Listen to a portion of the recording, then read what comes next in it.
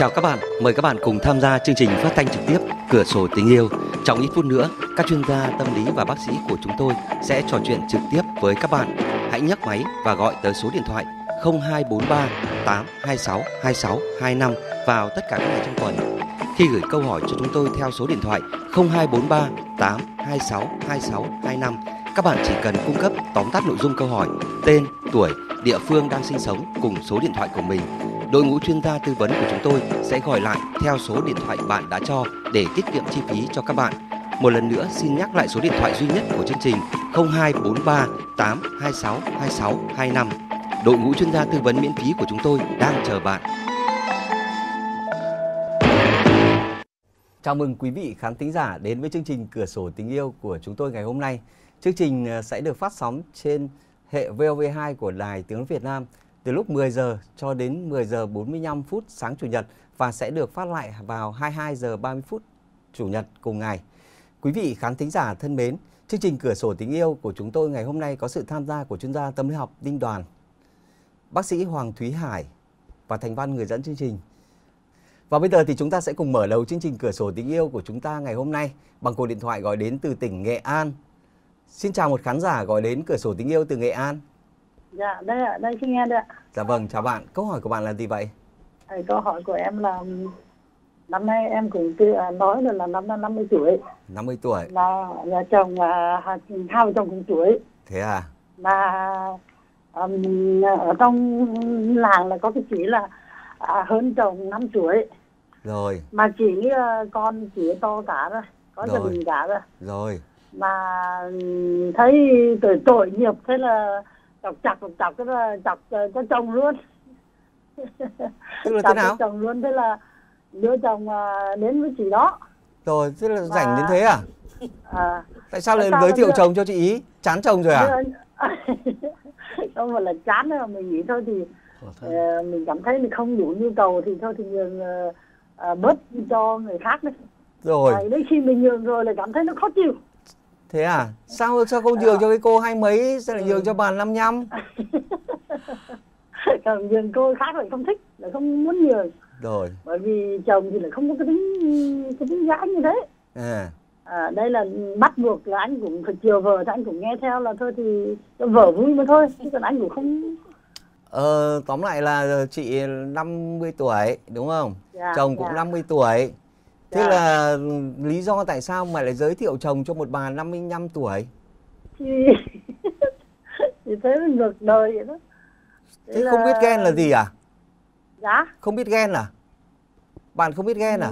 cái khi đấy cũng khi nói thì nó không ghen mà sau thực tế vào thì là mình lại cảm thấy khi mà chồng mình đi với với, với họ ờ, rồi thì lại cảm thấy nó lại cũng hơi hơi ghen ghét Ờ, Thế cũng cũng bực mình ờ, anh mà- chồng thì lại sướng quá lại được vợ giới thiệu cho một bà. Thế đâm ra là về danh chính ngôn thuận là, là, là bà vợ đồng ý rồi đúng không? Đúng rồi. Thế là cuối cùng là là ông ấy bây giờ sang ở với bà kia rồi à? không có ở đâu nhưng mà thỉnh thoảng thì ờ, à chỉ hay nấu cơm cho ăn bởi vì buổi sáng Ờ. là ờ, hay ăn ăn sáng cùng với chị đó chị nấu Ờ. cơm là hay ăn sáng cùng với chị bởi vì là từ nhà nhà em có cái cái cái cái, cái trại gần đấy Ờ. à, cho nên là ừ, chồng lại xuống đó ăn sáng xong rồi lại đi lên trên này lại để tranh thủ làm công việc một chút rồi bắt đầu về nhà đi sửa xe máy Rồi. Thế là đã, đã bao giờ giờ là ba người cùng thổi nấu ăn chung với nhau nữa chưa? Ngủ chung giường luôn Cũng- chưa? ngủ cung giường thì ờ, ngủ chung rồi nhưng mà nói chuyện cái cái cái, cái việc kia thì lại chưa nhưng mà nằm cùng giường thì cũng có nằm rồi tâm sự cũng có khi buồn khi vui rồi Thế à? Tôi thấy chị là số 1. Thế bây giờ thấy tiếc chưa? Bây giờ gọi đến Dạ. cho chúng tôi để làm gì nữa? thì hỏi đến cái là theo ờ, nhà Cho tư vấn đi làm hẳn hay là thế nào, đúng không? như thế nào mà cảm thấy có có nên giờ- như thế là hay là mình dừng lại Ừ, dừng lại dừng lại là người ta dừng chứ mình dừng cái gì nữa? Mình mở Ừ. đường cho người ta đi rồi còn gì nữa? đường nhưng mà đôi khi mình cũng phải coi như thế nào Rồi. có có nên Vài bữa nữa nên. thì là ông ấy viết giấy ly hôn ông bảo ký đi, thế là phân chia tài sản cho ông ấy dọn đến bàn 55 không tuổi bà ở. Không có đâu Biết thế nào có đâu. được? Thế cái cái bà Đó. 55 tuổi cái không chồng không con à? có con hai đứa con gái ra kiểu nhà hết rồi mà chồng chết rồi mà bà này cũng hiền lành mà Ừ. nói chung là bà này bà này thì thấp lùn nhưng mà nói về cái nói về cái sắc cái sắc thì lại không bằng không bằng không bằng cái bà đó anh gọi này vừa thấp lại vừa lùn lại sắc thì lại kém này thế nhưng người ta phải giỏi, giỏi khoản khác thì sao mà chính vì giỏi khoản khác đâm ra ông mới ở tịt bên ý đây bà đang bà đang lên đi bộ lên để cho bò ăn cùng đây đấy. Tôi, tôi thua bà rồi. Anh Đinh Đoàn sẽ tâm sự với chị nhá. Dạ. Rồi xin uh, chào chị. À, chào anh Đinh Đoàn bây giờ ngưỡng mộ anh Đinh Đoàn lâu lắm rồi đó. Cho nên uh... nếu câu chuyện của chị là câu chuyện uh, ngoài lề vui ở ngoài đường thì được. Nhưng mà câu chuyện đúng là thật sự nó như thế thì đúng như anh Thành Văn nói là chị là số 1 ở Việt Nam còn này số 2 Đông Nam Á thì cũng biết có ai nữa không nhưng mà đúng là cực kỳ lạ luôn bởi vì chứng tỏ yeah. Dạ. rằng mình một cái nhận thức rất là hạn chế về cái chuyện tình yêu rồi mối quan hệ vợ chồng bản chất của mối quan hệ vợ chồng đó là độc chiếm không chia sẻ được ăn không hết cũng để đấy chứ không thể đi biếu ai cho ai được nên chị em ruột còn không cho chứ đừng nói là lại cho một cái bà hàng xóm bà ấy nhiều tuổi đúng không chị thấy yeah. Dạ. trong cuộc sống của chúng ta đôi khi uh, mình có bà chị gái hay là cô em gái cũng đang ế chồng hoặc là không có chồng nhưng mà mình yeah. cũng dạ. không thể bảo ông chồng mình là thôi chị ấy đang đói thì anh thỉnh thoảng sang bến cho chị một một một một một một bữa được đúng không? Dạ. Đấy thế thì cái bản tính nó thế, thế rồi cũng như mình cũng vậy thôi. Mình bây giờ ông ấy ăn chả hết nhưng mà nếu như ở trong làng có một ông ông lão nào năm nhăm ông ấy bảo là uh, lúc nào đến đây cho ông xin ngủ một bữa thì chắc ông chồng mình cho một trận chứ ông không chịu chấp nhưng nhận nhưng mà. nhưng mà chồng đó thì nói là thà như tao thấy mà tao không bớt. À, à hay rồi. là hay là hay là hay là em có có có bộ bịch rồi mà cứ xui chồng đi vô những cái chỗ đó. À mà anh không Đúng. chồng này lại không tin là mình làm một cái chuyện như thế tự dưng là bởi vì chẳng ai tin rằng là có người phụ nữ nó lại dơ dở như thế bởi vì nếu một người minh mẫn thì ông ấy mới nghĩ rằng chắc là chán ông ấy thì vừa rồi lại có bồ ăn no say với ông nào rồi thì mới đẩy ông ấy đi yeah. Dạ. cho bà khác mặc dù yeah. người ta dạ. vẫn có thể được nhưng mà người ta thấy nó ngược đời lắm cái đó đôi khi người ta phải vụng trộm đôi khi người ta yeah. còn dạ. cảm thấy nhục nhã vì tham lam vì vi phạm nọ kia đây chưa nói yeah. đến vấn đề vi phạm pháp luật chồng yeah. mình đang là một người đàn ông có vợ đẩy chồng mình đến chung sống với một người đàn bà khác như vợ chồng lại còn kéo yeah. nhau lên giường ngủ tay ba tất nhiên là cùng một lúc thì ông không thể quan hệ tay ba được yeah. vì vì ông chỉ có một cái thôi thế thành ra là chứ còn ngủ tay ba bây giờ mà hai tay ông sờ lần hai bà thì không biết là mình có chịu được không cái việc đầu tiên là chị có thể cười nhưng mà tôi vẫn phải nhắc tất cả các khán thính giả phải nghe rằng đây là chuyện hy hữu ở trên đời mà là yeah. chuyện không hay cả về ờ, về về uh, Đạo về lý rồi về yeah. tây mỹ tục rồi rồi nó như chuyện đùa cho nên là yeah. thứ nhất yeah. đã chót rồi thì bây giờ yeah. không được ghen cũng chẳng chửi gì người ta nhưng mà nhắc yeah. ông chồng rằng yeah. là thôi hôm ấy em đùa nhưng không ngờ em định em thử anh thôi bây giờ mình đã chót dở rồi mình phải nhận là hôm em thử uh, chứ còn thì làm sao mà em lại có thể chia sẻ anh với người khác được. Dạ. uh, quý như cục vàng ấy đứa nào mà đụng đến là là là, là ăn đòn thế nhưng mà không ngờ anh này bây giờ yeah. anh lại bập vào bà ấy anh này sâu quá thì em không chịu đâu bây giờ yeah. phải dừng lại thế và yeah. hai nữa là mình cũng ờ, gặp cái bà kia nói rằng là thôi mượn thế là đủ rồi tôi yeah. thì không thể mong muốn là cho cái mối quan hệ này lâu nữa bởi vì cái sẩy nó sẽ nảy cái ung như anh văn nói đấy ờ, người ta lâu rồi người ta không có chồng thế xong rồi không vướng bận gì rồi người ta lại biết chiều chồng mình lấy sáng ra nấu ăn cho nhau đấy. Xong rồi là yeah. Dạ. xoa vai tẩm quất bóp bóp để thấy sướng hơn. Còn ở nhà vợ mình thì cứ cười phe phé như con nghe thì là rất là chán đúng không? Thế dạ. rồi đến lúc người ta cảm thấy ở bên kia nó ấm áp một người phụ nữ ờ, người ta biết người ta có tuổi rồi người ta chừng mực người ta trân trọng. Thế rồi dễ mất đi chơi. Mà rồi làm trò cười cho cả làng ấy nhá.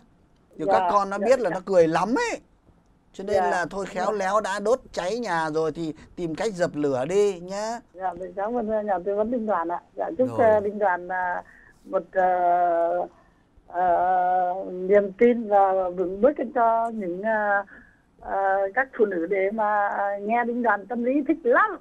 Rồi. À, chúc cho đinh đoàn thích khỏe. Rồi. Và hy dạ, vọng là dạ. chị sẽ dừng ngay cái trò đùa này đi nhá. Dạ dạ dạ rồi dạ. mất gia đình như chơi Cảm ơn ờ, chuyên gia tấm lập linh Đoàn.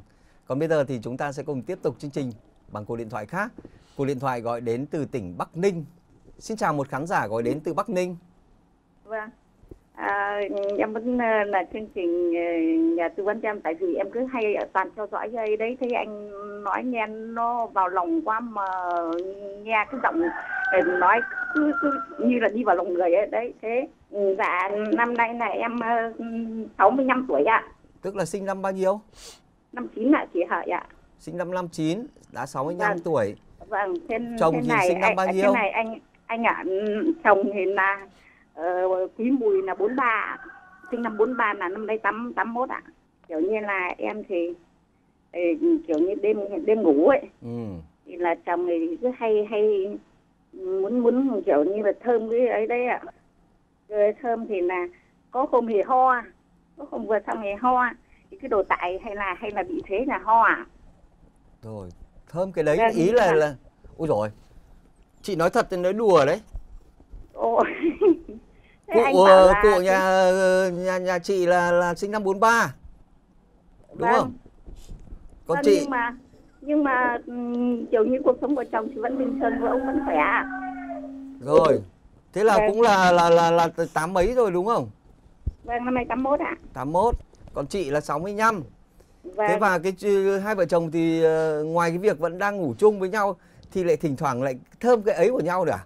vâng thì là uh, nhưng mà thế thì thế thì nói chung là thế thì em mới thích ạ lại thích hơn cả cả kiểu như là lấy bình thường ý rồi tóm lại à, là thơm ấy là thì thích hơn là là quan hệ thực sự đúng không? Vâng nhưng mà có lúc thì ông có hoa ông có đổ tại là hay là thế là hoa thì có phải là thế là em muốn hỏi chương trình là tư vấn cho em là có phải thế là hay là có cái chất gì mà nó lại hoa? Thì ừ, có lần đi không hoa? Rồi thế là một tuần ông ấy thơm mấy cái? Ừ, nếu mà mình cứ ấy thì thường là tuần nào cũng cũng cũng, cũng được ạ à tuần nào cũng được cái đúng không? Một tuần nào thì ông ho ho một tuần sau thì khỏi đúng không? Không có lần thì ho lần thì không ạ. À nhưng mà ho kéo dài không? Ừ, ho chỉ độ trong trong độ một hai hôm nhưng mà em cứ nghĩ là hay là chỉ là ông có lúc ông uống rượu thì ho. Chứ không phải vì cái đấy nên em mới hỏi chương trình là nếu ở trong đấy có cái chất gì mà để ho hay không mà lại bảo tại thế ạ. Tôi tôi thì tôi nghĩ rằng là sợ là ông ấy vướng cái tóc nào đấy ở trong cổ ấy nó mới ho như thế em có tuổi rồi mà cứ hỏi ấy cái này thì cũng phải là chả làm sao cả mà... chuyện này là hoàn toàn bình thường và chương trình cửa sổ tình yêu là một chương trình mở giải đáp vâng. tất cả những băn khoăn thắc vâng. mắc về sức khỏe sinh sản cho từ vâng. thanh niên cho đến cái, như lứa tuổi của các anh các chị mà không việc gì vâng. phải ngại bởi vì tôi cũng có nhìn thấy chị có nhìn thấy khuôn mặt của chị đâu đúng không? Và tôi cũng không biết à, chị là ai. Vâng. Địa chỉ của chị vâng. chính xác ở chỗ nào là tôi cũng không à, biết. nhưng mà em cứ theo dõi mà được lên sóng hỏi cái này mà xong chẳng hạn mà ông nghe tiếng thì mà phải bị cái đấy hay không thì nó được giải tỏa hơn ạ. Rồi đấy. Vâng. ông ấy nghe được tối mà mở đài hai vợ chồng cùng nghe nhá. Xem để làm thế nào mà cách nó khỏi ho nhất có thể nhá vâng thế nên em mới hỏi chương trình là là là có phải vì thế hay là nó có cái chất gì ở đấy mà để ho hay là ấy? Thế có nghĩa là không phải là vì vì thế mà bị ho ạ? À? thì tôi hỏi thật hai cụ là lấy nhau được mấy chục năm rồi? Dạ 40 năm hơn rồi ạ. Thế 40 năm nay có ho không hay dạo này mới ho?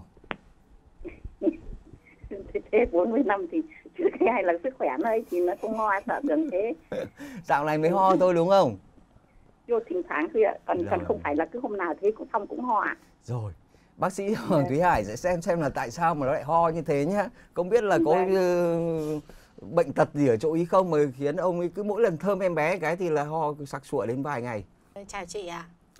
Vâng, vâng. À, em chào chào chị ạ. Vâng. À, tôi có nghe câu chuyện của chị với anh Thành Văn rồi ạ. Thật vâng sự ạ. là tôi rất là ngưỡng mộ anh chị. Vâng mình ờ, rất là nhiều tuổi rồi nhưng mà cái ờ, sức khỏe của mình rất là tốt. Thế em hỏi bác sĩ là thế là không phải vì thế mà mà mà ho chứ ạ? Chị ơi chị, ho thì nó có nhiều nguyên nhân lắm chị ạ.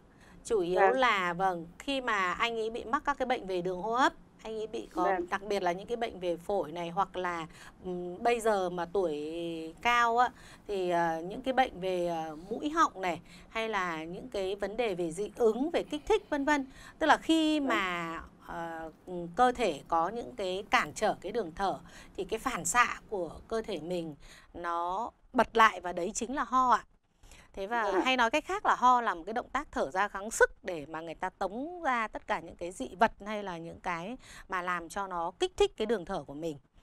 Ờ, tất nhiên là đấy như tôi đã nói lúc đầu rồi thì anh chị như thế ờ, đến bây giờ tuổi như vậy mà vẫn còn những cái tình cảm như thế thì rất là tốt.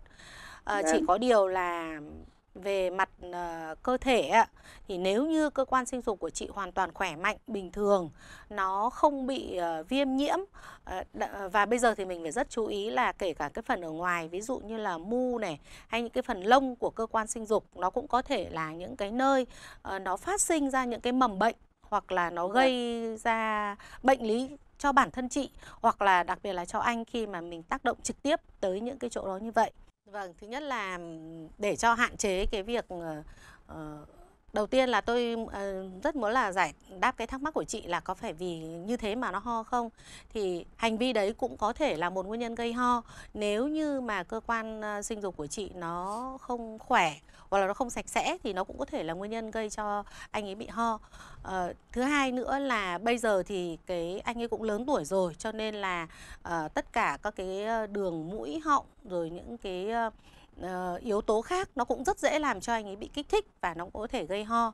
À, tôi cũng có nghe câu chuyện của chị với anh Văn là vì anh ấy có uống rượu cho nên là thận trọng một chút ở tuổi đó. Nếu như chúng ta lạm dụng rượu hoặc là nghiện rượu hoặc là uống rượu quá nhiều thì không phải chỉ có đường hô hấp mà còn các cái bệnh khác ví dụ các bệnh về đường tiêu hóa chẳng hạn nó cũng có thể uh, là là bị ảnh hưởng. Và để mình hình dung là ví dụ như anh bị trào ngược dạ dày chẳng hạn hay là anh ấy bị những cái bệnh mà liên quan tới đường tiêu hóa nó cũng có một cái phản ứng là phản ứng gây ho. Uh, vì thế là um, anh chị có thể uh, cũng nên cân nhắc khi mà thực hiện hành vi đấy. Cái thứ hai nữa là quan trọng nhất là sức khỏe của mình thật là tốt và thường xuyên kiểm tra rồi thực hiện những cái ờ, lối sống tốt thì nó sẽ ổn thôi ạ. Dạ vâng. Dạ. Ờ, hy vọng là chị đã thỏa mãn với những cái câu trả lời của bác sĩ Hoàng Thúy Hải rồi chứ ạ? Chào chị nhé, cảm ơn bác sĩ. Rõ ràng cái chuyện uh, quan hệ tình dục của người cao tuổi là cái chủ đề mà nhiều lần chúng ta đã đề cập nhưng mà với trường hợp của ờ, một cụ 81 với cả một bà 65 như thế này thì đây cũng là một cái biện pháp giải tỏa ở cái lứa tuổi này một cách phù hợp đúng không anh Đinh Đoàn? Vâng, trước hết thì ờ, rất là mừng bởi vì ờ, các bác lớn tuổi cũng đã cởi mở hơn dạ, vâng. về cái chuyện mà mà tình dục vợ chồng mà biết rằng là chúng ta phát sóng. Vâng. Điều ấy chứng tỏ là xã hội đang rất là cởi mở, rất là trân trọng những cái cái cái, cái tình cảm dành cho nhau. Dạ. À, đúng là người ta nói là cái khó nó ló cái khôn. Vâng. 81 tuổi không biết là với một cụ bà 65 vâng. không biết là họ có thể duy trì được cái việc giao hợp hay không. Vâng. Chưa chắc uh, bác trai kia đã còn cương cứng được. Vâng. Và bác gái 65 thì chắc chắn cũng không chưa chắc đã đủ điều kiện để mà thực hiện hành vi giao hợp nhưng mà đấy chúng ta vẫn vẫn nhiều lần nói với nhau rằng là là quan hệ tình dục phải hiểu nghĩa rất là rộng mà vâng. dùng chân dùng tay dùng mồm dùng miệng dùng cái gì đó kích thích để mà tạo ra khoái cảm là được dạ. thì cái việc mà cụ ông sau 81 mà có thơm cô bé của bà xã của mình 65 thì cũng rất là là tốt thôi dạ vâng. À, cơ bản nhất là giữ gìn vệ sinh và giữ đúng cái cách khoa học dạ vâng. tôi thì ban nãy nghe rất là ngưỡng mộ của ông nhưng tôi nghĩ là sợ là cụ già xong bây giờ khi mà nằm ở trong cái tư thế úp mặt đấy là nó dễ đè lên ngực là nó dễ tạo ho ngồi này thì không ho nhưng nằm sấp vâng thì đường thở nó bị hẹp lại xong lại quá chăm chú vào cái cái cái, cái công bé. việc kia cô bé kia thì cũng dễ là có thể nó ho dạ hoặc vâng. là nói thật chứ uh, cái cái cái rừng rậm của bà mà bà cụ ấy vâng. mà không cắt tỉa đi ấy, trong lúc mà cụ ông đang đang như kiểu tôi cứ gọi đùa là gặm cỏ ấy mà mà có cái cái ví dụ như cái lông nó kích thích ở, ở niêm mạc ở mũi chẳng hạn nó cũng rất dễ khiến cho người ta ho hoặc là hắt xì hơi dạ vâng. thế thì đã có những trường hợp là khuyến khích là với những người lớn tuổi nên cạo sạch dạ vâng. để giữ vệ sinh Dạ vâng. Sinh rất tốt. Hy vọng là những chia sẻ vừa rồi của bác sĩ Hoàng Thúy Hải cũng như là chuyên gia tâm lý học ờ, Đinh Đoàn Ờ, cũng có ít ít nhiều cho các cụ lớn tuổi à, khi bước vào tuổi này thì cái chuyện quan hệ ừ, tình dục bằng cái phương phương pháp là xâm nhập thì nhiều khi là hơi gặp khó khăn đúng không bác sĩ? Ừ. Vâng Và bây giờ thì chúng ta sẽ cùng tiếp tục chương trình cửa sổ tình yêu của ngày hôm nay bằng cuộc điện thoại khác, cuộc điện thoại gọi đến từ tỉnh Hưng Yên. Xin chào một khán giả gọi đến cửa sổ tình yêu từ Hưng Yên.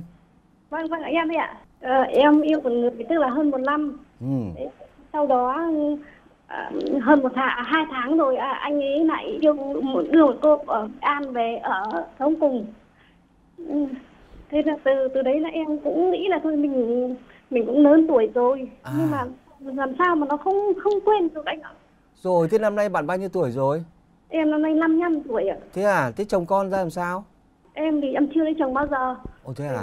Cứ mãi mãi đi làm ăn đến hai hai chục năm là không ăn Tết ở nhà anh ạ. Thế à? Cái thế có con không? Em không ạ, không không có chồng, không có con. Thế thì mà... yêu cái anh này là anh ấy bao nhiêu tuổi? Anh ấy à, sinh năm kém 2 tuổi ạ. Năm ba.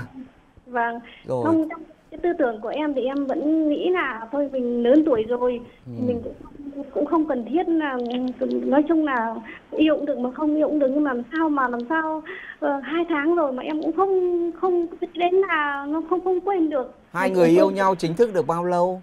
Được hơn một năm ạ. Hơn một năm. Thế hai tháng gần đây thì là anh ấy ờ, yêu cô khác đúng không? Ở nghệ an như bạn nói. Đưa một cô an về về ở cùng. Rồi thế là vợ con anh ấy ở đâu? Vợ anh thì hai hai đời vợ rồi tức là hai hai đời vợ đều lấy một thời gian thì là đi tù. Đi tù ừ. thì đến lúc về thì nghĩ em cũng nghĩ cái hoàn cảnh em rất là thương. Thương thì lúc đầu thì em cũng, cũng từ chối nhưng mà sau thì nghĩ thương thương thì em phải yêu. Ừ. yêu thì đến đến giờ như thế. Nhưng mà à, thôi cái chuyện đấy thì em cũng nghĩ cũng bảo thôi thời thời qua thời gian thì khả năng rồi nó cũng cũng sẽ rồi sẽ quên đi nó qua đi. Rồi. Có một câu hỏi thứ hai câu thứ hai nữa là có một anh ở trong làng tức là ngoài hơn 60 tuổi anh Rồi. cũng vợ chồng bỏ nhau. Thế là cái anh uh, 53 tuổi kia có cùng làng không? Cách 25 cây ạ. 5 cây đúng không? Vâng. thế còn cái ông 60 tuổi thì có gần đấy nữa không? Ở, ở trong làng ạ cùng trong làng à cùng trong làng. Thế là ông ấy còn to khỏe đẹp trai không? À, anh ấy thì cũng cao to làm cũng có lương hưu một ít lương hưu mới lại làm thợ điện thì tính đến con người rất là tốt nhưng mỗi tội ở cái phía mình là mình tuổi cao thôi chứ còn thì đức tính của ta rất là tốt thế thì uh, cái cái anh uh, thứ nhất anh năm ba tuổi thì yêu nhau một năm thì là hai người ở chung với nhau hay là sao không nhà cả nhà em thì, thì thỉnh thoảng là tức là anh ấy sang nhà em thì thỉnh thoảng em sang nhà anh ấy thôi chứ em không à. không sang đây ở được bởi Rồi. vì là hoàn cảnh nhà em em còn phải ông bà già bố Rồi. mẹ già em phải cơm nước rồi còn phải uh, giúp đỡ bố mẹ chứ không Rồi. không sang ở được Rồi. Thế là một tuần uh, giao lưu mấy lần? Ờ, trong một năm ấy chẳng hạn cũng có khi một tuần một lần cũng có một lần cũng khi một tuần hai lần rồi thế đột ngột hai tháng chả có lần nào lâm ra là nhớ đúng không không không phải nhớ về cái đấy đâu của anh ạ. Không phải nhớ về tình dục mà cái kiểu trong cái trong trái tim mình ấy chứ không trời ơi khổ thế là chị không, không, không nhớ về cái đấy đâu. đang nhớ người ta như thế làm sao mà có dám 60 tuổi hỏi mà gật đầu đồng ý ngay được đúng không? Vâng, thế thì bây giờ à, nhờ, nhờ chuyên gia giúp em làm sao em, em quên. Quên được để đến với anh 60 đúng không? Không một nào chưa chưa không trả lời em em chỉ bảo là thôi anh cứ từ từ để sau này qua thời gian rồi em mới trả lời anh được qua chục năm nữa anh ấy 70 tuổi thì cơ mà anh Đinh Đoàn sẽ tâm sự với ờ, ờ, bạn nhé Vâng, vâng. Mời anh Đinh Đoàn ạ. Rồi, bây giờ là mình 55 tuổi chưa kết hôn bao giờ. Vâng. Ờ, rồi mình còn gánh nặng là bố mẹ già đúng không? Vâng ạ. Cả bố cả mẹ luôn. Vâng ạ. Ông ông bố em là 84, mẹ 81 ạ. Trời ơi vất vả quá. Thế các anh các chị các em đã như thế nào rồi? Nhà em thì bảy con gái, toàn toàn con gái đi đi chồng hết rồi ạ. Ôi thì... trời ơi. Này nói đùa chứ nghe xong câu chuyện của mình tự nhiên lại nhớ đến cái bài hát mà chị tôi ấy. Vâng. Ừ, tôi thấy đâu một chút gì đó rất là áy náy, một chút gì đấy rất là thương cảm. Vì chị vâng. hy sinh cho cả cuộc đời tuổi thanh xuân đi kiếm uh, việc làm, đi làm ra tiền. Rồi bây giờ cuối cùng quay trở về. Các em đều có gia đình, đều có phận cả rồi. Mỗi bà chị chưa có chồng. Vâng, đúng đấy ạ. Mà lại gánh nặng của hai ông bà già nữa. Nhưng mà thực ra là con người mà. Bao nhiêu tuổi cũng cứ khát khao yêu ban nãy khi nói đến tình yêu mà thấy cười hí hí hí thì biết rồi đúng là bây giờ mình nếu như một cô gái 18 lần đầu biết yêu cho nên là chắc sẽ sẽ khó quên em em nói thật chứ ừ. đúng rồi em 55 tuổi em cảm giác như mình không phải là 55 tuổi đúng rồi lòng nó cứ vui phơi phới đúng không vừa thái rau cho lợn vừa hát được vừa tắm cho lợn vừa vừa cho chó ăn vừa thấy lòng nó cứ vui phơi phới làm cái gì nó cũng sẽ khỏe hơn rất nhiều đấy sức vâng. mạnh của tình yêu nó ở chỗ đó tuy nhiên vâng. thì thật ra thế này với cái anh à, mặc dù mình khát khao người ta nói rằng dù có khát nước thì cũng phải uống nước sạch không bao vâng. giờ uống nước ở vũng lầy Vâng. một là nó sẽ sặc sụa hai là ho ba là vâng. rồi thì chả biết có khát nước không nhưng mà lại vướng vào bệnh tiêu chảy thì chết cho nên với vâng. cái anh mà năm mươi mấy đấy một người đàn ông đã có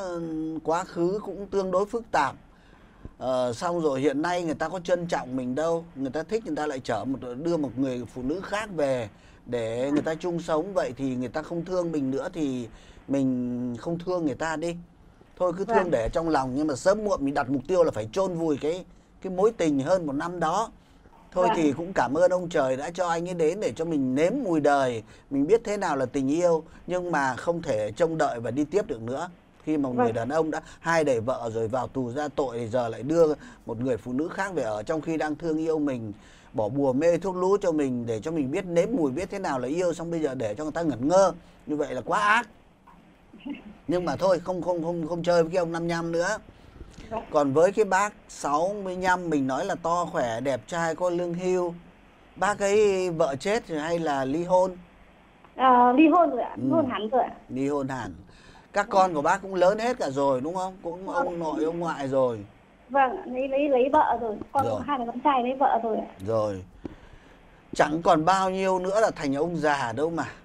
Quay vâng. đi quay lại là 70 mình sống cả đời đang tự do một gánh nặng ở bên này hai bố mẹ già toàn 80 bây giờ lại khoặc thêm một giả sử như tốt ra ấy. Lại gánh thêm một bên kia một ông lão ngót 70 nữa. Vâng. mình thì cũng vài tuổi nữa là 60 trời ơi bên này thì đau đầu gối ông kia thì tiểu đường hai cụ nhà mình thì nhớ nhớ quên quên. Vâng. không không không giải không giải mà lấy thêm gánh nặng về nữa mình vâng. là gái chưa chồng anh ấy là trai không còn vợ nếu như thích nhau cứ gặp nhưng không có nghĩa rằng là cứ gặp là phải đi đăng ký kết hôn rồi đám cưới rồi lấy nhau thành vợ thành chồng đó mà tôi ta, ta vâng. thiếu cái gì ta chia sẻ cái đó mình thật ra cũng đơn côi đôi lúc ông ấy bảo rằng là uh, mai bà có rảnh sang bên này tôi nấu bát cháo cho mà ăn ừ cứ sang mà ăn bát cháo. Hôm nào mình nấu xôi bảo là em thắp hương rằm có đĩa xôi anh qua em lấy xôi về mà ăn. Thế rồi hai người ngồi thôi thì chia sẻ bù đắp tình cảm cũng thế. Không ai vâng. cấm cả nhá hai người trưởng thành rồi. Có làm gì chăng nữa cũng không vi phạm pháp luật. Vâng. và hãy nhớ rằng là tuổi của mình cũng không còn được bao lâu và ông ấy thì cũng tuổi già mấp mé và gánh nặng hai ông bố bà mẹ của mình rất là nhiều. Mình không vơ vào một cái biết chắc nó sẽ là một gánh nặng nữa vâng vâng chẳng may mà bây giờ lấy ông xong quý hóa đưa đi đăng ký kết hôn vài bữa nữa ông ấy ốm ông đau mình để phục vụ chạy về bên kia chăm chồng ở bên này chăm bố mẹ xong vâng. ba bữa nửa tháng ông lăn quay ra mình thành bà quả phụ đeo vâng. khăn tang ở trên đầu hưởng niềm vui chẳng được bao lâu thôi vâng. Vâng, Chẳng vâng. may ông trời bắt tội mình không được mau mắn nhưng mà cho mình cho giờ còn sức khỏe. Nghe tiếng cười hí hí thích lắm. ừ. Anh ạ, anh, em ừ. thì con người thì xấu không đẹp anh ạ. Nhưng mà chỉ có mỗi điều là tại sao cũng rất nhiều người đàn ông cứ thích em ở cái chỗ là em cứ vừa hay cứ nói đã động cái cái liên tiếng nói tươi. là lại ừ, mình tươi tắn đúng không? À. Thôi thì đẹp xấu không biết nhưng mà mình cứ nhìn cuộc sống nó, nó tươi tắn cười hí hí thế vui, không sao cả. Hãy nhớ này, anh nào mình thấy uh, không có vướng đến chuyện vợ con người ta quá bụa cô đơn hay là ly thân ly hôn à quên ly hôn mình mà thấy cũng có tình cảm thì cứ mở lòng không ai vâng. cấm và không vi phạm pháp luật. Và đặc biệt là hãy nhớ rằng thôi thì thời gian không còn nhiều không việc gì phải óng nghẹo cành cao nhá. Mỗi một con người một số phận trời trao cho ta một số phận. Đấy ta may mắn là uh, cho đến giờ ta còn giữ gìn sức khỏe thứ hai nữa là thôi lo cho bố mẹ rồi như thế cũng đủ rồi hãy nhớ rằng giữ lại một phần cho mình đi có được dăm trăm một ờ, một vài trăm gì đấy gửi tiết kiệm để à. mai kia cái lúc mình không còn khỏe mãi thế này được đâu mình còn à. rút cái lãi ra mình còn thuốc còn men còn đong gạo mà ăn bố mẹ già cũng sẽ chẳng ở mãi với mình nhá vâng. hy vọng là uh, cuộc sống của bạn luôn luôn có nhiều niềm vui và hãy cứ nở nụ cười như thế nhá. Xin chào bạn, cảm ơn uh, chuyên gia tấm lập Đinh Đoàn. Còn bây giờ thì uh, chúng ta sẽ cùng tiếp tục chương trình uh, bằng cuộc điện thoại khác. Cuộc điện thoại cũng gọi đến từ tỉnh Hưng Yên nhưng là, là đây là một bạn nam 37 tuổi. À, xin chào bạn. Thì trước đây em là cảm thấy hai vợ chồng quan hệ bình thường ấy, giờ, ừ. à, giờ từ ngày Covid không tiêm vaccine nhiều ba bốn lần ấy. Ừ. Thì thấy là nó vào lúc ấy ra rồi ấy. Ừ Vâng, em cũng lên mạng em chỉ muốn hỏi chương trình này. Bây giờ có cái cách nào mà để nó kéo dài thời gian dài ra Rồi, thế là cái chuyện mà nó ngắn ngắn thế là cái chuyện mà thời gian ờ, quan hệ nó ngắn là bao nhiêu lâu nay rồi? Ồ, thời gian gần đây nữa. Là gần đây là bao lâu chẳng lẽ không nhớ à? Ờ, 4 năm tháng rồi ạ. Rồi, ngắn như thế nào? Vào một lúc rồi ra ạ. À, tức là chưa các cụ bảo là chưa đi chợ là hết tiền đấy đúng không? Vâng vâng rồi. Thế cái giai đoạn đầu ấy tức là cái khúc vào đầu nó có kéo dài không? Không dài lắm ạ. À chắc là cũng được uh, vài phút. Thế là chiến đấu chiến đấu thì chắc là được 30 giây thì đã ra rồi đúng không? Phút hơn phút gì đấy. À rồi năm nay 37 tuổi đúng không? Vâng ạ. Rồi các con lớn chưa? Ừ, em một đứa 5 tuổi một đứa được 4 tháng ạ. À thế à? Thế là bố vợ vẫn đang ở cữ à? Nó vợ hết ở cữ rồi. Nó ừ. hai vợ chồng quan hệ bình thường rồi. Rồi 4 tháng tức là vẫn đang cho em bé bú đúng không? À. rồi. Ờ, cái hiện tượng này mà bạn đổ tại do là tiêm ba bốn lần vaccine gì đó đúng không? Và bạn từ sau lần sau lần đấy thì bạn thấy yếu đi à? Vâng, nhanh. thấy yếu đi. Tức là nếu như ngày xưa thì quan hệ này khoảng tầm ờ, tiếng sau là có thể quan hệ. Lại ừ. được ấy thì nó lên cương cứng lại bình thường ấy. Ừ. bây giờ một tiếng thì không thể cương cứng lại bình thường được. Rồi thế là ba sáu tiếng thì nó mới quay lại trạng thái. Không không không, không đến. Ba bốn tiếng thôi. Đấy là hai vợ chồng như thế là một tuần quan hệ mấy lần? À, à, hai lần có thể một lần nó tùy từng ừ. quan trọng là phải tùy nhu cầu đúng không? khoảng 1 đến 2 lần. Mà mỗi lần thì cũng tức là tần suất cũng không phải là mau lắm mà khoảng uh, như thế là là ba ba bốn ngày mới có một lần diễn ra đúng không? Mà mỗi lần chỉ diễn ra trong khoảng phút hơn phút là đã hoàn thành nhiệm vụ rồi. Đánh nhanh thắng nhanh. Ôi khi nhiều khi cũng hay. Vợ có than phiền gì không? Vợ thì cũng thái độ hài lòng ạ. Thái độ không hài lòng đúng không? À. bác sĩ Hoàng Thúy Hải ra xem ở cái tuổi 37 và cái hiện tượng xuất tinh sớm như thế thì thì thì có ảnh hưởng gì đến ờ, chất lượng cuộc sống hay không nhá? Ờ, chào em chào bạn. Ừ. Ờ, mình nói là một thời gian gần đây thì ừ, nó là khoảng chính xác nó là khoảng bao nhiêu lâu em?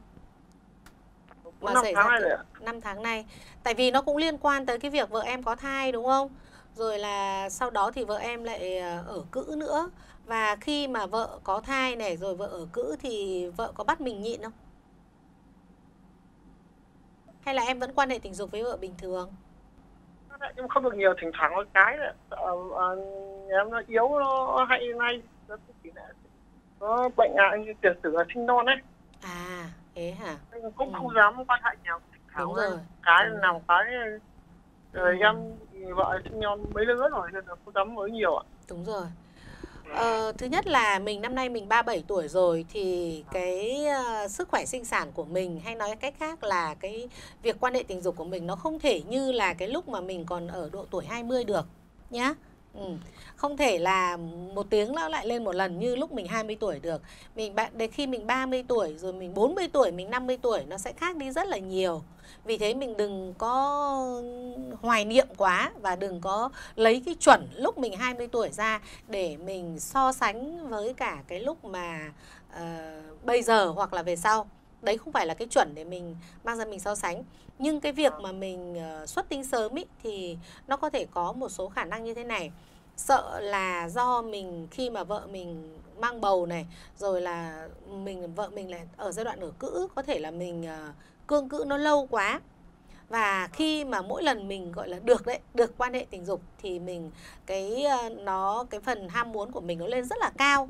Rồi mình bị tích trữ rất là lâu ngày mình mới được quan hệ tình dục thì nó cũng có thể gây ra cái hiện tượng như của em thì đấy là có thể do cái điều kiện khách quan nó có thể gây ra cái hiện tượng như vậy còn một cái trường hợp thứ hai là có thể là bệnh lý thật bởi vì là tất cả các lần quan hệ tình dục của em trong thời gian gần đây đều chỉ được từ 1 cho đến 2 3 phút là cùng đúng không? Là em đã xuất tinh rồi. Trong điều kiện quan hệ tình dục bình thường, bây giờ vợ cũng không cấm cản, không phải lo lắng gì nữa mà vẫn bị như vậy thì có thể là em bị xuất tinh sớm nhá. Em ờ, ở Hưng Yên thì chị nghĩ là có lẽ là mình cũng cần phải đi khám đi nhá. Ừ. Thế hỏi bây giờ khám ở đâu mà Em ờ, em lên Hà Nội nhá.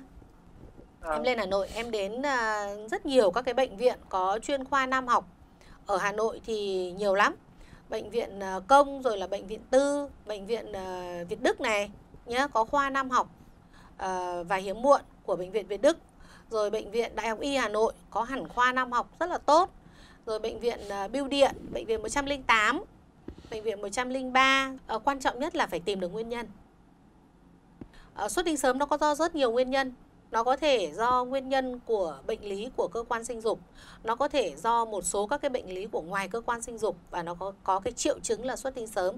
Xuất tinh sớm nó chỉ là một triệu chứng thôi nhé và quan trọng nhất là em phải tìm được nguyên nhân. Dựa trên nguyên nhân thì người ta mới điều trị được cho em chứ còn nếu như mà tất cả những cái mà uh, trên mạng những cái không chính thống những cái không phải là bác sĩ khám không có nguyên nhân cụ thể thì uh, những cái đấy thì chị nghĩ là điều trị nó sẽ không đúng bệnh.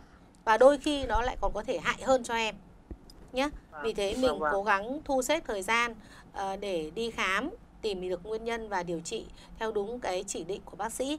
Thì hy vọng nó sẽ ổn bởi vì là em mới có 37 tuổi thì cái đời sống tình dục của em nó sẽ rất còn rất là dài. Cho nên là mình cố gắng để mình điều trị thì chất lượng cuộc sống của mình sẽ ổn hơn nhé. Rồi, ờ, hãy cứ đến những cái bệnh viện ờ, công lập nhá. Ờ, chứ đừng uh, search trên mạng thế xong lại đưa ra một vài cái bệnh viện uh, hoặc là phòng khám à, tư vâng. hoặc là cho một vài cái loại thuốc mà như chả biết tác dụng ra làm sao nhiều khi lại còn phản tác dụng nhá. Vâng ạ. Chào bạn. Vâng, Cảm ơn bác sĩ Hoàng Thúy Hải. Vâng. Bây giờ thì chúng ta sẽ cùng tiếp tục chương trình cửa sổ tình yêu bằng cuộc điện thoại khác, cuộc điện thoại gọi đến từ thành phố Hải Phòng. Alo, xin chào một khán giả gọi đến từ Hải Phòng.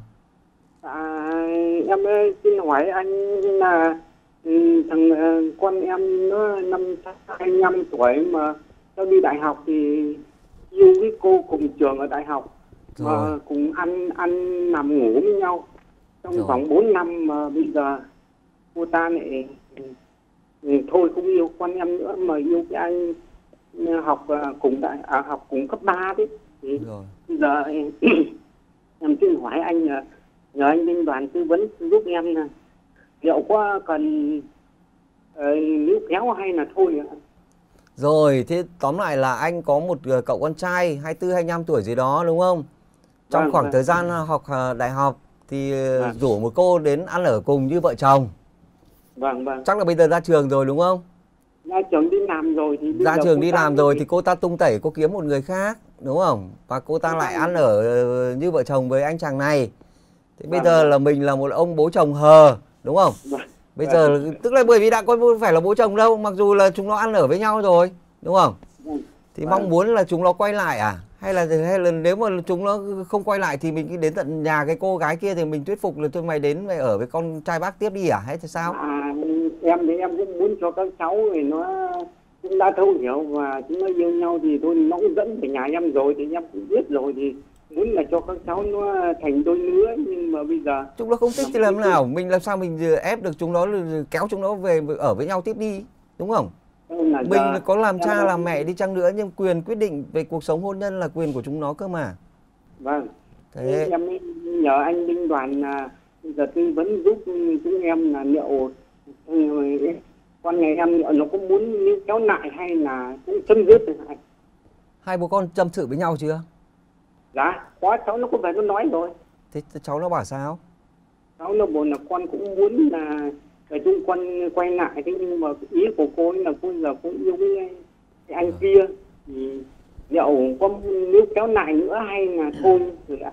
Em nhờ anh, anh đoàn tư vấn giúp ạ. Rồi xin chào bố trẻ. Bố trẻ. Suýt được làm bố vợ đúng không? À quên bố chồng bố chồng. năm nay mình bốn tám đúng không em chưa nào em cũng mở cửa sổ tình yêu em nghe anh tư vấn rất hay. Thế à? Cửa sổ tình yêu tuần phát có một lần nhá. Dạ. rồi ờ, nhà mình được mấy thằng cu dạ em hai thằng cháu thì hai cháu đại học cả. Ôi tốt quá. Bà xã còn khỏe không? Nhà em năm nay 45 em 48 ờ hai vợ chồng còn vui vẻ không? À vợ chồng em thì hạnh phúc lắm tốt quá. Vâng, trước hết là phải nói thế này học đại học ừ. là hai đầu học giỏi học bổng cả giỏi quá. Bây giờ thằng cu lớn mà mà suýt có vợ thì bây giờ nó ra trường nó làm gì ở đâu? Cháu làm kỹ sư của bên v của nhật bản. Tốt quá. Nhưng mà nó có làm ở gần hải phòng gần bố mẹ không ở nằm ở bên thủy nguyên thì cách xa chúng em khoảng hai chục cây vẫn là tỉnh hải phòng thôi vẫn thành phố hải vâng. phòng thôi huyện khác vâng, thôi vâng, vâng. trước hết phải nói với bố cháu thế này dạ. ờ, các con nhà mình nó sống rất là hiện đại mới là sinh vâng. viên thôi nó đã ở chung như vợ chồng Vâng. ở với nhau 4 5 năm ăn như vợ ở như chồng mà rồi chẳng còn vâng. níu kéo được nó chẳng nảy sinh ra được cái cái cái tình cảm để mà chúng nó có thể tiến xa tiếp được thế thì vâng. bây giờ có níu kéo cũng muộn thôi cũng chẳng vâng. để làm gì sợ nhất là con nhà mình cảm thấy bị thứ nhất là con nhà người ta con gái mà bản thân cô gái đã đi ăn ở gọi là sống thử với một chàng trai suốt 4 năm làm vợ người khác mà bên đây giờ người ta còn vững tâm người ta bước tiếp thế thì mình là con vâng. trai mình sợ cái gì phải nghĩ một cách rất tích cực là may quá sinh viên mà vẫn cứ có vợ được vâng, được được vâng. được uh, ăn ở như vợ chồng với một cô bây giờ tự nhiên cô chả bắt mình có trách nhiệm gì cô lại dứt áo ra đi. Vậy thì uh, mình mặc dù không mất một đồng tiền nào mà cũng được có vợ trong suốt 4 năm. Nghĩ tích vâng. cực như thế. Bây giờ mình bắt đầu lại từ đầu. Tôi lo là lo con nhà mình ấy à, buồn rồi đau rồi lụy tình rồi hiện nay đang chán đời bỏ đi nghiện rượu rồi trích rồi hút gì. Chứ còn thì um, nó đã tâm sự với bố rằng là thôi chúng con thôi. À, tất nhiên thì cũng có vẻ con nhà mình thì muốn rằng nếu níu kéo được thì níu kéo bởi vì cũng đã đồng hành với nhau 4 năm. Nhưng uh, bạn ấy cũng đã đánh giá rồi có lẽ cũng thôi bởi vì phụ nữ mà đã quyết tâm dứt áo ra đi nghĩa là phía kia chắc lắm rồi đấy. Vâng. Chứ không không đời nào mà chỉ là một cái anh bây giờ mới tìm hiểu mà đã sẵn sàng nó buông tay con mình đâu. Thế thì vâng. thôi để cho nó tiện tự nhiên bố cũng cứ nói với con một cách rất là là là vui vui thế này. Ôi thì tốt quá, thôi kệ con ạ. Nó là cái duyên, cái số. Mình cứ nghĩ một cách tích cực là 4 năm qua mình đã có vợ mà lại chả mất đồng xu nào, chả về chịu trách nhiệm gì. Thế thì bây giờ thì thôi, tập trung vào làm ăn trước mắt là là là có tí vốn tí liếng. Thế rồi mình khỏe mạnh, mình sống tử tế, mình giao lưu bạn bè, rồi bạn ấy sẽ có bạn gái thôi mà. Đôi khi yeah mình cứ nghĩ rằng là là, là ừ, đã nở với nhau 4 năm như thế thì chắc phải yêu nhau lắm nhưng đấy chắc là hoàn cảnh nó đưa đẩy. Các cháu nó ừ. gần gũi nhau rồi lửa gần rơm lâu ngày cũng bén rồi dọn về ở chung ấy mà. Chứ ừ. rất nhiều đôi sinh viên sống thử.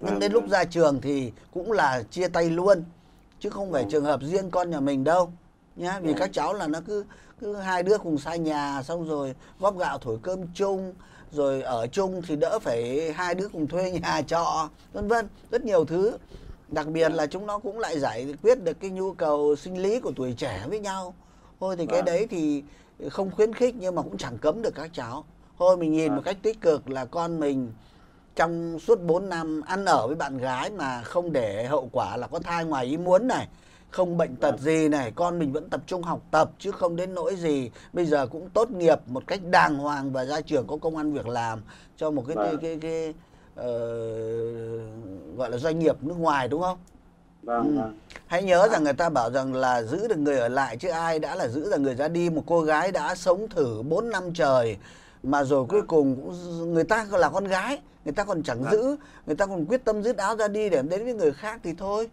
thì vâng. không không không tiếc nhé và mình vâng. có tiếc cũng chả làm gì được nữa rồi đường hãy vâng. nhớ rằng là cánh cửa này khép lại sẽ có nhiều cánh cửa khác mở ra mình là người động viên con thế tất nhiên con nhà anh chắc nó cũng mạnh mẽ đấy nó không cần động viên lắm đâu nhưng mà nếu nó có chia sẻ bố cứ nói một câu rất là vừa rồi thiếu gì đẩy vâng. con cứ tập trung vâng. con làm con ăn con có tiền rồi con um, tạo dựng rồi con giữ gìn hình ảnh của mình nó đẹp rồi cha đứa này thì đứa khác nhá Vâng, làm thế nào mà con nó sẽ tìm được một người như mẹ nó hiện tại ấy? Nhờ cuộc sống của gia đình nó không bắt được vợ chồng em hạnh phúc lắm. Đấy thế thì phải bền chặt như thế mới là đúng. Chuẩn nha vâng. Vâng, xin vâng, cảm ơn chuyên gia giám đốc Minh Đoàn. Vâng chào anh Đoàn anh Thành Văn. Dạ vâng ạ. Còn bây giờ thì chúng ta sẽ cùng tiếp tục chương trình cửa sổ tình yêu của ngày hôm nay bằng cuộc điện thoại khác. Cuộc điện thoại gọi đến từ tỉnh Vĩnh Long um, em với uh, bạn thân uh, quen nhau mà em không biết người đó có bị gì không mà có vợ có con rồi em con trai. Rồi. cũng chung uh, mà làm em mấy lần rồi. Họ làm gì? Lúc mà nhậu nhậu xong tỉnh rồi xong làm em mấy hai lần này làm cái gì? Bạn có thể cụ thể hơn được không? Quan hệ quan hệ. Quan hệ tức là bạn có một người cậu anh trai năm nay bao nhiêu tuổi nhỉ? Hai người bao nhiêu tuổi? Em 24 người đó cũng 28 rồi. à thế là cả bạn và à, anh chàng kia là đều có vợ rồi à? Em thì chưa mà người đó thì đã nói rồi. Tức là mỗi lần nhậu với nhau thì anh kia làm gì bạn? Em ngủ lại rồi xong rồi làm quan hệ em em không hay á lúc đó em bơ bơ thôi tức là anh ý quan hệ với bạn? Dạ. Quan hệ tình dục ý bạn muốn nói thế dạ dạ. Rồi. Cái hành vi đó khiến bạn cảm thấy như thế nào? Lúc ấy có biết không? Có, có lúc mà thì đó cũng hơi say say nhưng mà cũng cảm giác như cũng có bị gì đó nhưng mà mình không có thấy được. Tức là lúc ý bạn có biết không? Cũng hơi hơi à, mà yeah. có có lần cuối cùng thì biết. Rồi. Và bạn không phản đối à? Nhưng mà lúc đó say đâu phản đối được lúc là lúc ấy đang say đúng không? Đang có tí yeah. Dạ. men đâm ra là cũng cảm thấy thinh thích. Nhưng mà về về sau thì nhiều lần chưa? Um, hai lần rồi. Lần thứ ba thì lúc đó em say rồi em không có chắc rồi. Cái hành vi của anh ấy ừ, khiến bạn ừ, khó chịu đúng không? Nói chung là hồi em hỏi nó có bị ấy không mà sao thấy tại có vợ có con rồi. Rồi thế đã bao giờ hai người trao đổi với nhau về chuyện ý chưa? Ừ, đang có nói hỏi mà bạn nói là giỡn thôi. Hả? À giỡn thôi à? Dạ. rồi thì cố gắng một tuần say ba bốn lần. Theo anh đinh đoàn thì giải quyết vấn đề này như thế nào ạ? Rồi chào à, em trai. Dạ. Mình à, đang là sinh viên hay mình đi làm mình sống à, ở nhà trọ làm công nhân ở khu công nghiệp em đi làm uh, tự do ở nhà trọ thế à trọ chung với cái anh ấy hay anh ấy trọ anh ấy có không. vợ đúng không anh đó không có ở lâu lâu chỉ ghé về nhậu chung thì à. chơi thôi chứ anh có làm chung với mình cái công việc gì không dạ không anh đó ở làm công việc gì em có không đi không có sao hỏi. mình đưa anh về nhà để anh chuốc rượu say để bị anh bị xâm hại tình dục bị anh ấy xâm hại tình dục đấy cái cái cái mối quan hệ thứ nhất là anh tưởng rằng là sinh viên trọ cùng này anh tưởng là ít nhất cũng làm cùng công ty với nhau hai đứa thuê nhà trọ chung ở ờ, chung nhau rồi trong lúc uống rượu rồi ờ, gọi là ờ, thèm khát quá thì làm liều. Nhưng mà rõ ràng ở đây thì anh ấy là người em không hề biết.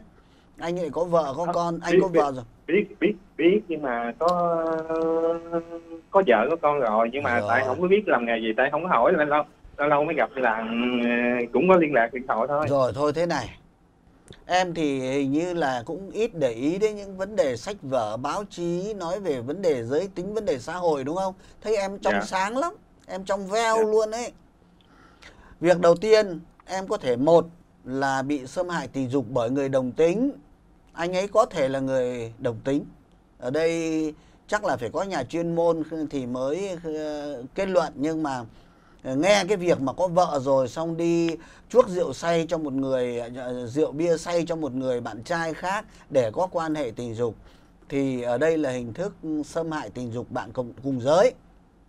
Đúng không?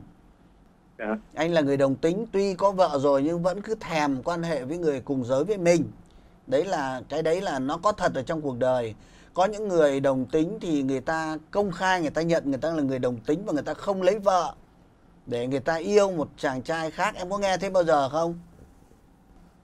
Ừ, cũng nghe. Rồi thế thì chịu khó nghe thêm. Việc thứ hai là có những người đàn ông vì muốn che giấu không nhận mình là đồng tính vẫn lấy vợ. Tuy nhiên cái khát khao mà có quan hệ tình dục với người đồng giới nó vẫn còn ở trong lòng. Khi gặp hoàn cảnh uh, dễ chịu hoàn cảnh thuận lợi thì làm cái việc đó với bạn đồng giới. Hoặc là anh ấy là người lưỡng giới tức là với nữ cũng thích mà với nam cũng thích. Tức là là dạng dạng uh, bisexual ấy tức là lưỡng giới. Nhưng dù dạ. thế nào chăng nữa thì em vẫn là người bị xâm hại tình dục. Bởi vì em không muốn cái điều đó và bị người khác chuốc rượu say và người ta làm. Làm cho mình lúc ấy tờ là mờ say không biết nhưng khi tỉnh lại mình thấy mình hơi mắc cỡ đúng không? Em có thấy xấu hổ ngại ngại gì không? Thì thấy cũng hơi hơi có thấy nó kỳ kỳ hay là thích thích lại mong muốn anh đến nữa?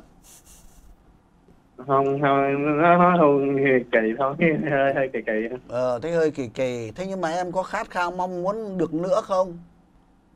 Nói chung á thì lúc mà anh làm á thì uh, lúc đó thì nó cũng có hơi hơi ấy hơi ấy ấy rồi tê tê thích thích đúng không? Anh ấy làm dạ. quan hệ tình dục thực sự không? Ví dụ anh quan hệ bằng đường hậu môn hay vào đường miệng của mình hay là chỉ ôm nhau sờ lần ờ, kích thích với nhau? Bằng miệng của em thì em không không có biết tại em lúc đó em thích ngủ ngủ rồi rồi xong rồi còn lúc mà ấy trời ơi lúc... rượu say gì nỗi người ta à, ví dụ như ngủ người ta nhét vào miệng mình cái gì mình không biết thế à? Đúng không? Cho nên thứ à. nhất là nếu như em không phải là người đồng tính thì em sẽ dừng cái cái việc gặp gỡ anh này bởi vì nhiều lần như thế rồi em sẽ thành quen em có thể không phải là người đồng tính em có thể là trai thẳng nhưng yeah. mà rồi vì em chưa có những cái trải nghiệm quan hệ tình dục với bạn khác giới em chưa bao giờ có người yêu vẫn chẳng quan hệ với bạn nữ bao giờ đúng không dạ yeah. ừ. nay lại có một cái anh này anh cứ làm mình thấy hay hay lúc đầu thấy kỳ kỳ nhưng ba lần thì thấy hết kỳ kỳ mà lại thấy thích thích rồi đến lần thứ tư nhớ là nhiều người đã đánh mất cái giới tính thực sự của mình. Bởi vì mình yeah. không không ý thức được là mình đang bị xâm hại mình đang bị lôi cuốn nhá. Lần thứ ba thì đưa vô ờ, hậu môn nên em lúc đó em ờ, lúc mới đau quá em... thì mới biết mở mắt mới biết còn mọi lần thì là không đúng không? À, tại lần thứ đó thứ đó em hình như là em em thấy nó đưa đưa vô luôn rồi em mới rút ra theo thôi.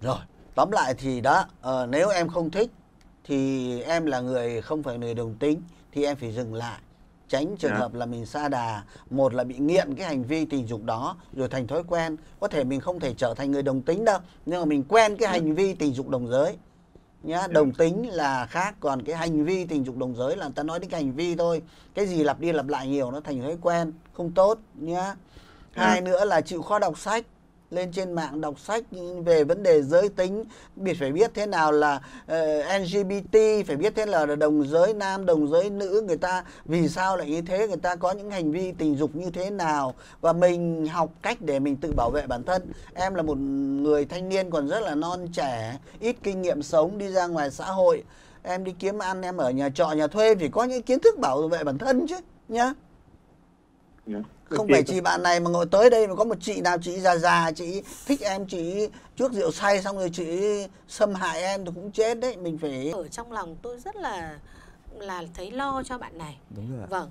Bạn ấy không hề có kỹ năng bảo vệ mình. Dạ, vâng. thế bây giờ và bạn ấy cũng không biết là có lẽ bạn ấy cũng không biết là đấy là hành vi có hại cho sức khỏe anh ạ. Dạ, vâng. vâng anh khi mà bạn ấy say như thế bạn ấy không kiểm soát được ờ, mình và cái anh chàng này anh ấy có thể là Ờ, đưa miệng của anh này vào cơ quan dương vật của bạn này đấy là một cái hành vi có hại rồi nếu như mà trong khoang miệng của anh ấy uh, nó không khỏe rồi nó có những cái vết loét rồi vân vân hay à. nói vâng. cách khác là kể cả anh ấy mắc các cái bệnh mà trong khoang miệng anh ấy có cũng có thể gây bệnh cho bạn này kể cả bệnh lây truyền qua đường quan hệ tình dục. Dạ vâng. Cái thứ hai nữa là việc mà xâm nhập vào đường hậu môn cũng là một hành vi mà có hại cho sức khỏe.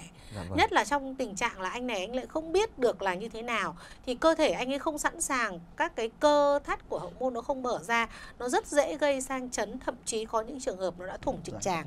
Dạ vâng. vâng. Và đấy là cái việc rất là nguy hiểm cho anh ý chưa kể là những cái uh, uh, tổn hại đến sức khỏe mà rồi nó cũng có thể là tổn hại đến tinh thần nữa. Biết đâu sau này anh ấy chẳng thể mở lòng ra với các bạn gái. Hoặc là anh ấy lại ờ, như anh đoàn đã nói rồi, không phải là người đồng giới mà cuối cùng lại trở thành, có những cái hành vi quan hệ tình dục với người đồng giới thì nó sẽ rất là là ảnh hưởng tới cuộc sống của mình. Vì thế tôi cũng rất là mong muốn các cái bạn trẻ, đặc biệt là với cái bạn 24 này, chúng ta phải tỉnh táo hơn nữa, chúng ta phải cập nhật các cái kiến thức, biết tự bảo vệ chính mình cũng như là biết các cái xu thế quan hệ tình dục hiện nay nó như thế nào, đánh giá các nguy cơ mà mình có thể gặp phải. Ở đây chỉ có việc là mỗi tội uống rượu anh ạ dạ cứ vâng. mỗi lần uống rượu là say và say đến người ta làm gì trên cơ thể mình còn không biết thì sau này làm sao mà mình có thể kiểm soát được cuộc sống của dạ mình vâng. không biết là anh Đinh Đoàn anh còn nhớ cái trường hợp là có một cậu cũng thanh niên dạng tuổi như thế này thì là ở dãy trọ và bà chủ là hay trừ tiền trọ là vâng. bởi vì phục vụ nhu cầu của bà ấy đấy tôi nói là hiện nay thì rất là nhiều bạn trẻ thoát ly khỏi gia đình vì nhiều lý do đi học hay đi làm đi kiếm sống. À, điều ấy thì cũng rất là tốt. Tuy nhiên thì các bạn phải trang bị những cái kiến thức uh, phòng vệ bản thân tránh vướng vào các mối quan hệ phức tạp để đánh nhau vì ghen tuông tranh giành bạn trai tranh giành bạn gái. Và đặc biệt thì uh, uống rượu hay nhậu nhẹt cũng vẫn cứ nói vui thôi ạ vui có chừng dừng đúng lúc dạ tránh vâng. trường hợp để mà say một người phụ nữ nào đó người ta thấy một anh thanh niên say mà người ta thích người ta lôi vào trong giường sau đấy người ta chụp ảnh để lại ngày hôm sau người ta dùng những cái tấm vâng. hình ấy người ta tống tiền. tiền rằng là hôm qua trong lúc anh say hay là cậu say cậu xâm hại tôi và cậu phải tôi trả tôi một món tiền này món tiền khác nếu không thì sẽ đấy, đấy. nhiều người sống dở chết dở vâng cho nên là các bạn à, khi ra khỏi nhà không còn sống trong vòng tay bố mẹ phải biết cách tự bảo vệ bản thân dạ đừng vâng. để say đến mức độ mà không biết cái gì cả như thế ạ. À, để dạ người vâng. khác hại mình. Dạ vâng. Rất là cảm ơn ờ, chuyên gia tâm lý học đinh đoàn và bác sĩ hoàng thúy hải. Và thời lượng dành cho chương trình cửa sổ tình yêu của chúng ta ngày hôm nay đã hết. Xin chào và hẹn gặp lại quý vị khán thính giả trong các chương trình sau